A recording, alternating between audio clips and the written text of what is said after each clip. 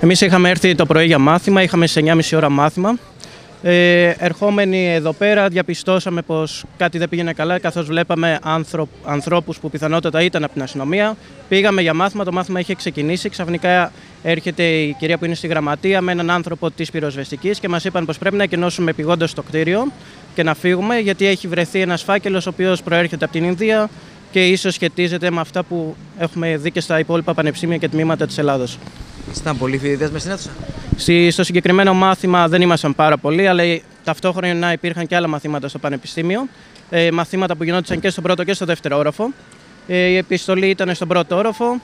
Άρα μπορείτε να φανταστείτε στο πρώτο όροφο με περισσότερα άτομα ήταν λίγο η κατάσταση εξελίχθηκε ομαλά, αλλά η ένταση ήταν εμφανή σε όλους τους φοιτητές. Φοβηθήκατε καθόλου; Ε, κοιτάξτε, ο φόβος υπάρχει, αλλά προσπαθούμε το φόβο να τον μετατρέψουμε σε μια πιο αστεία κατάσταση. Καθώς, εντάξει, άμα αρχίσουμε και πανικοβαλόμαστε για το οτιδήποτε. Το διακομωδείτε. Ακριβώς, το διακομωδούμε. Ναι, γιατί, εντάξει. Τώρα έχετε και άλλα μαθήματα, περιμένετε να συνεχίσετε. Τώρα, από όσο μας είπαν, τα μαθήματα έχουν ακυρωθεί για όλη την υπόλοιπη μέρα.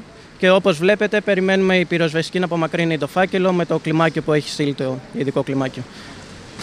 Ε, είχαμε έρθει κανονικά για μάθημα στη σχολή και στο, στα μισά του μαθήματος ήμασταν τέσσερα άτομα μόνο μέσα στο μάθημα και ήρθε η κυρία Δούκα από την ε, γραμματεία και μας ανέφερε ότι πρέπει να εκενώσουμε το κτίριο. Τρομοκρατηθήκατε; Ε, η αλήθεια είναι πως δεν ε, πανικοβληθήκαμε τόσο, το πήραμε λίγο σ- πιο χαλαρά. Ναι, γιατί και η κυρία Δούκα μας το έφερε χαλαρά, δηλαδή... ωραίο τρόπο. Ναι, με ωραίο τρόπο.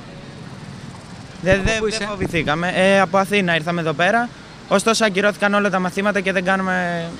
Ούτε, ούτε και το πρώτο μάθημα ακυρώθηκε και δεν κάνουμε σχεδόν καθόλου μάθημα σήμερα. Εγώ περνώντας για να έρθω στην τράπεζα, βλέ- βλέπω την κινητοποίηση της πυροσβεστικής και αμέσως κατάλαβα ότι ήταν η περιβόητη σκόνη.